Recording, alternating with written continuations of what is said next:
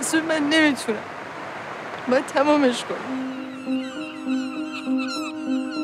طلاقمون توافقی بود. من مهریه رو بخشیدم اونم هزانت بچه رو داد. ازدواج کنم امیرزا رو میگیر از من. یادتونه دیگه. سیغه نامه رو یه ماه بنویسید. ماه به ما تمدید می‌کنیم تو همه زن بگیری یا می‌خوای آبونمان بشی؟ بیا بمون همینجا. نه دیگه من که بهت گفتم که نمی‌خوام امیرزا بفهمه. باید کم کم بهش بگم. بازم می‌خوام برم کمپ. تو فقط برگرد. ستایی میشینیم. هر چی تو بگی من میگم چشم خدا. نهید من دوستت دارم. من دیگه دوستت ندارم.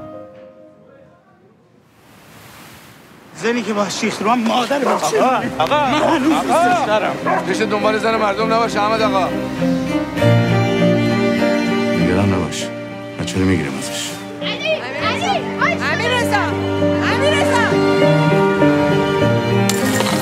خاطر بچم همه کار کردم. بیا یا با آبروی ما فکر نکردی؟ سال گند زدی تو زندگی من الان می‌پرسی مشکل تو واقعا چیه؟ من بچه بودم نایی من بچه بودم چه ربطی داره؟ چرا میترسی؟ هیچ غلطی نمی‌تونه بکنه برو بچه بیاد بیرون.